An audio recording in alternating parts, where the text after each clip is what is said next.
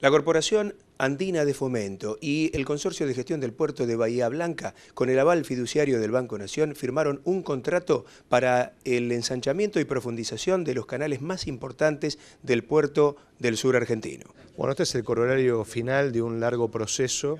donde un puerto autónomo, uno de los principales puertos autónomos de, la provincia de Buenos Aires, eh, ha llamado a licitación por el dragado. El dragado es la obra principal en todo puerto porque tiene que ver con la profundización de los canales de acceso para que los barcos ingresen eh, ya sea con mejor fluidez o barcos de mayor porte. Y este es un caso emblemático porque Bahía Blanca es, eh, sin lugar a dudas, el puerto de aguas profundas más importante de Argentina y eh, gracias a la Confederación Andina de Fomento, que ha sido el, financista conjuntamente con el aporte de los cánones del sector privado en un puerto que tiene ingresos y que puede autosustentarse por sí mismo, ha posibilitado, bueno, finalmente suscribir este último paso, que es el fideicomiso con Nación Fideicomiso, va a servir de algún modo como garantía eh, para el pago del crédito que obtenemos con la Confederación Andina de Fomento. Vamos a comenzar un proceso que va a llevar cinco años